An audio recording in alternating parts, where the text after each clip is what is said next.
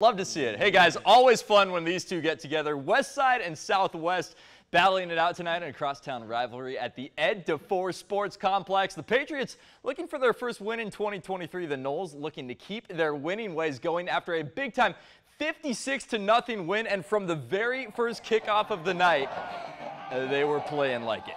Jashaun Summerlin taking the opening kick, and he stays on his feet, slipping off tacklers like butter Take that, rewind it back. I'm talking all the way back. House call for West Side on the first play of the night. And it's 7 0 Seminoles. Come on now. Skip ahead a little later. It's 7 6 West Side. Noles ball near midfield. And then the ball gets loose. It's scooped up by Southwest. Looks like they're going to take it back. And then it's fumbled again.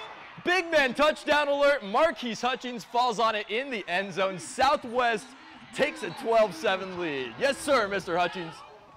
Move ahead, second quarter. Patriots driving again, and after a huge run from James May, Chase Dupree finding Carmelo Mays in the air. Oh, that's way too easy. Coming right into your living room. The Patriots putting them on notice. Number one is fired up. Now they would go for two and convert. It is 20 to 7 Southwest. And the Noles don't like that too much. The name is Cadifius Iverson. Yeah, you know the name by now. He's become a familiar one. Bustin loose, loses the football, it's out of bounds, doesn't matter. Nice pickup into the red zone. Next play, direct snap to Jesse Bell. The bell cow into the end zone, around the outside. Touchdown, west side.